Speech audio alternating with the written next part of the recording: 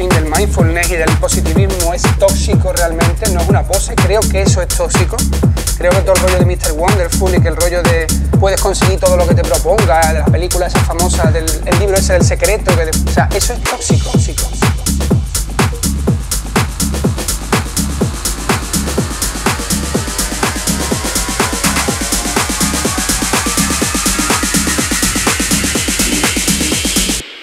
A mí no me interesa un carajo sonar en la radio.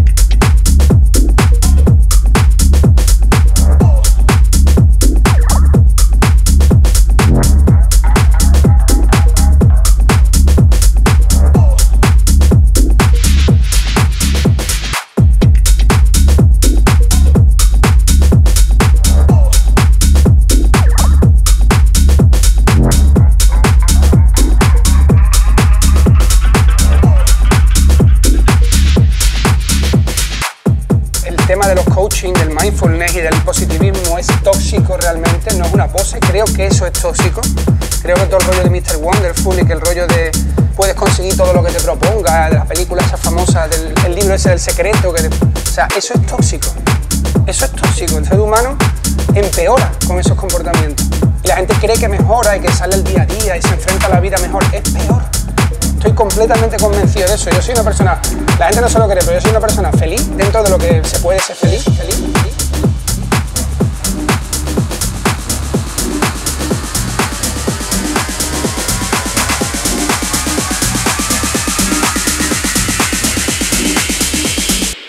A mí no me interesa un carajo sonar en la radio.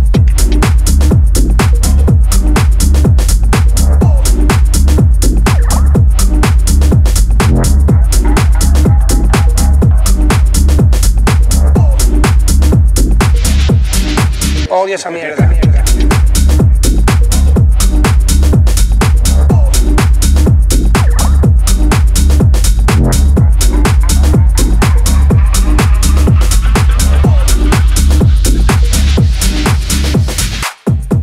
La gente no se lo cree, pero yo soy una persona feliz dentro de lo que se puede ser feliz, siendo un tío pesimista, negativo, que me gusta el humor negro, lo cínico, lo irónico, la sátira, y creo que todos esos géneros viven del desencanto. Yo soy, de Enrique San Francisco.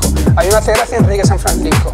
A mí no me hace gracia un youtuber, ¿sabes? Ni me hace gracia, ni me, ni me, ni me mejora el día un tipo muy gracioso, muy charachero, que se levanta a las 7 de la mañana con energía y me cuenta una película para que yo mejore como persona. Y la frase de la galleta. Odio esa mierda.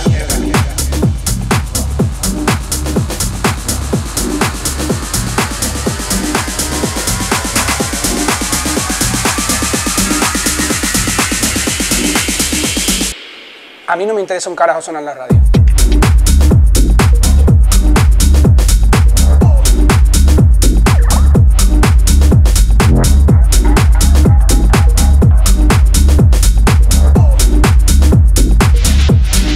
Odio esa mierda.